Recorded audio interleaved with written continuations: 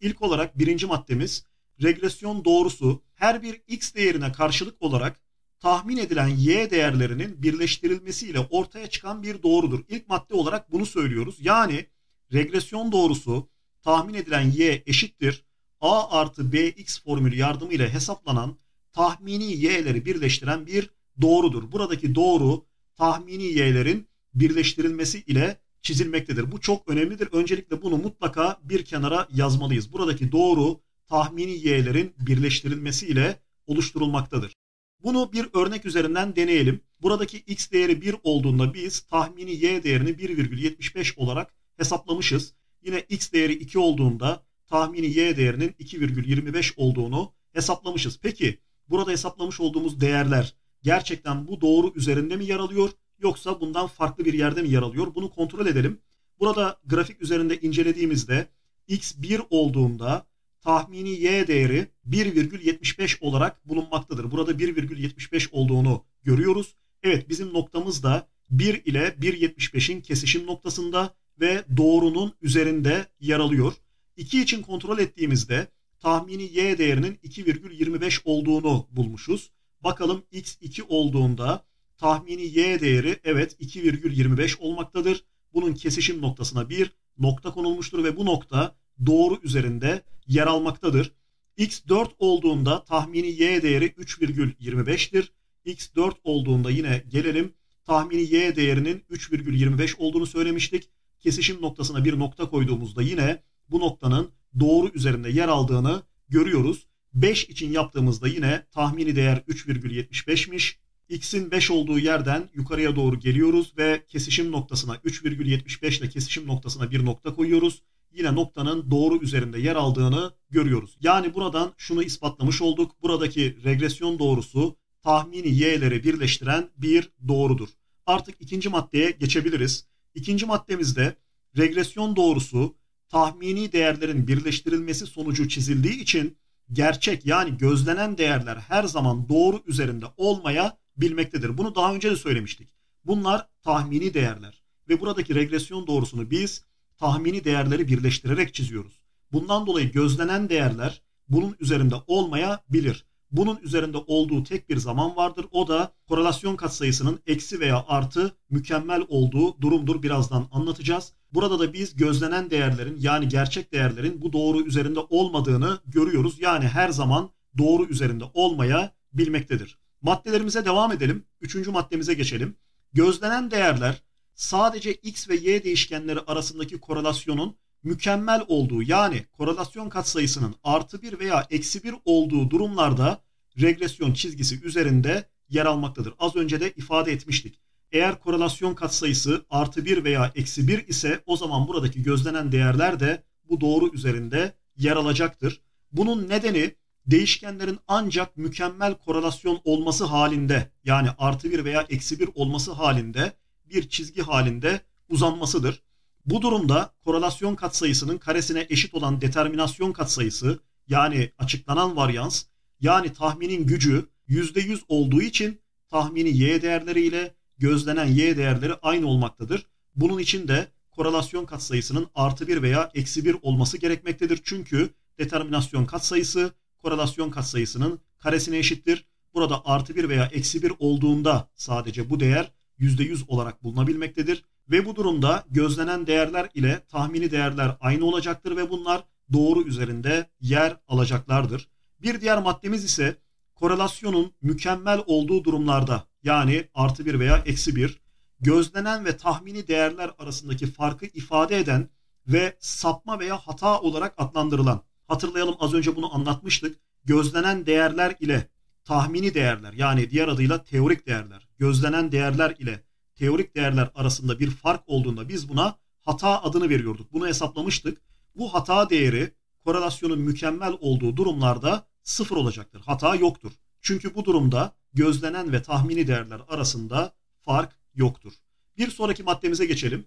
Beşinci maddemize korelasyon katsayısının azaldığı durumlarda ise yani artı birden veya eksi birden sıfıra yaklaştığı durumlarda korelasyon katsayısının azaldığı durumlarda ise mükemmel korelasyon olan çizgi üzerinde yer alma yerini dağılmaya bırakmakta ve korelasyon katsayısı ne kadar azalırsa değişkenlerin grafik üzerindeki dağılımı o kadar yayılmaktadır. Bunu korelasyondan da hatırlıyoruz. Korelasyon katsayısı azalırsa korelasyonun gücü azalacaktır ve buradaki değerler dağılacaktır. Grafik üzerindeki dağılım o kadar artacaktır.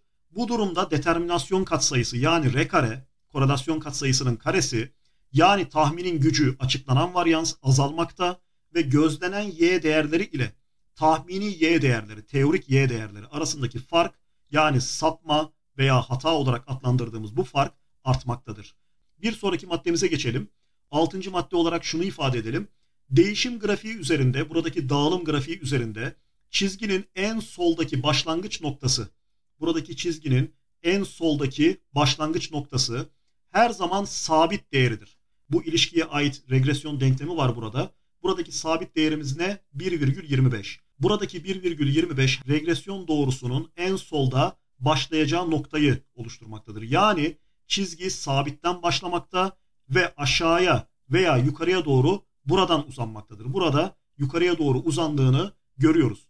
Bunu x ekseni sıfırdan başlayacak şekilde düzenlendiyse görebiliriz. Burada biz x eksenini sıfırdan başlayacak şekilde düzenledik. Eğer bunu birden başlayacak şekilde düzenleseydik o zaman burada bittiğini görecektik. Ancak buradaki ekseni sıfırdan başlayacak şekilde düzenlersek buradaki çizginin sabit değerinden başladığını görebiliriz. Şekilde sabit değeri 1,25'tir ve x eşittir 0 olması halinde tahmini y 1,25 olacağı için regresyon çizgisi buradan başlayacaktır. Burada x 0 olduğunda tahmini y değerinin 1,25 olduğunu görüyoruz. Buradaki formüle 0 yazdığımızda tahmini y değeri 1,25 olarak bulunacaktır. Dolayısıyla buradaki çizgi bu noktadan başlamalıdır. Bir sonraki maddeye geçecek olursak regresyon katsayısı regresyon çizgisinin aşağıya veya yukarıya doğru eğimini vermektedir.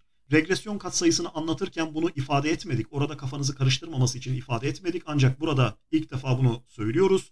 Regresyon katsayısı buradaki çizginin eğimini vermektedir. Katsayının değerinin negatif olması halinde çizgi aşağıya doğru, pozitif olması halinde ise yukarıya doğru uzanmaktadır. Şekilde katsayı 0,50 olduğu için çizgi yukarıya doğru uzanmıştır. Buradaki regresyon denklemimizde katsayı 0,50'dir. Bundan dolayı da regresyon doğrusu burada yukarıya doğru uzanmıştır. Bu doğrunun eğimini ise buradaki regresyon katsayısı vermektedir.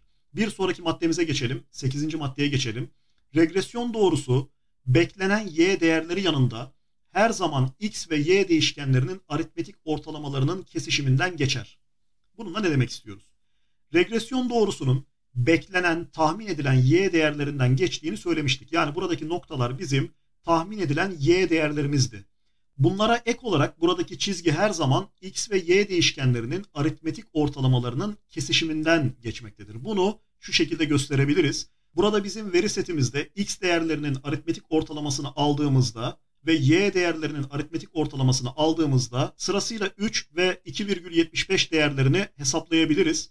Burada x3, y 2,75 olacak şekilde burada bir nokta bulacak olursak grafik üzerinde x3, y ise 2,75 olursa bu noktayı biz burada gösterebiliriz. İşte burada anlatmak istediğimiz budur. x ve y değişkenlerinin aritmetik ortalamasından mutlaka buradaki doğru geçmektedir. Burada da geçmiştir. Bir sonraki maddemize geçebiliriz.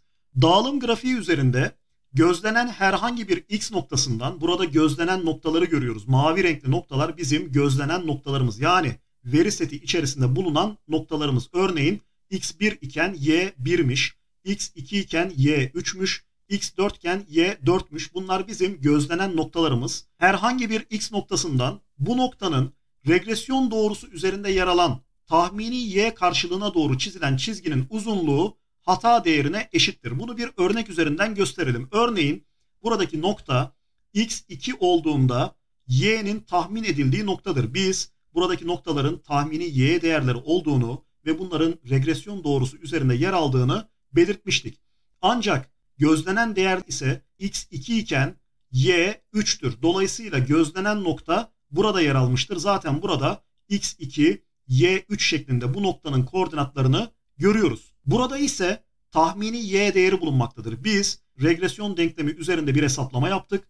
x2 iken tahmini y'nin 2,25 olacağını bulduk ve bu noktayı buraya işaretledik. İşte burada bir sapma bulunmaktadır. Yani tahmini y değeri ile gerçekteki y değeri arasında bir fark bulunmaktadır. Bu çizginin uzunluğu bu hata değerine eşittir. Burada a ile gösterilen çizginin uzunluğu buradaki hatayı göstermektedir. Bir diğer maddemize şimdi geçebiliriz. 10. maddemiz ise gözlenen x değerinden regresyon doğrusuna birleşecek yatay bir çizgi çizilmesi halinde bu kenarın uzunluğu da bulunabilir. Burada az önce birleştirmiş olduğumuz noktayı ele alalım. Bu noktadan regresyon doğrusuna doğru yatay bir çizgi çizmemiz halinde bu çizginin de uzunluğunu bulabiliriz. Bunu iki yoldan bulabiliriz. Öncelikli yol buradaki grafik üzerinden bulmaktır. Eğer grafiğimiz müsaitse bunu görsel olarak herhangi bir hesaplama yapmadan bulabiliriz. Nasıl bulabiliriz? Buradaki noktanın x değerinin örneğin 2 olduğunu burada görüyoruz. Buradaki noktanın x değeri 2'dir. Peki bittiği noktada yer alan bir nokta olursa bunun x değeri nedir? Bunun x değeri ise aşağıya geldiğimizde 3,5 olduğunu görürüz. O zaman buradaki çizginin boyunun 1,50 olduğunu görürüz ve bu çizgiye B çizgisi adını verebiliriz. Buraya da A çizgisi adını vermiştik. Peki niye böyle yapıyoruz? Çünkü biz burada bir üçgen oluşturmaya çalışıyoruz. Bu üçgen yardımıyla birazdan belirteceğimiz en küçük kareler yöntemini anlatacağız. Zaten buradaki çizginin uzunluğunu bulmanın ikinci yolu ise birinci yolun grafik üzerinden gitme olduğunu söylemiştik. İkinci yolu ise en küçük kareler yönteminin kullanılmasıdır.